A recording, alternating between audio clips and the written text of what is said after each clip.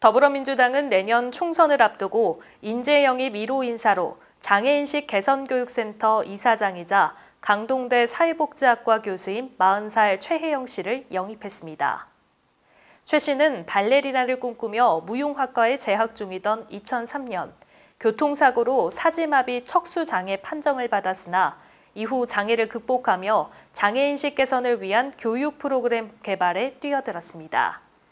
2017년 여성 척수 장애인으로는 국내 최초로 나사렛 대학교에서 재활압 박사 학위를 취득했으며 최 씨의 장애인식 개선 활동은 지난 2018년 직장 내 장애인식 개선 교육 의무화라는 정책으로 반영되기도 했습니다.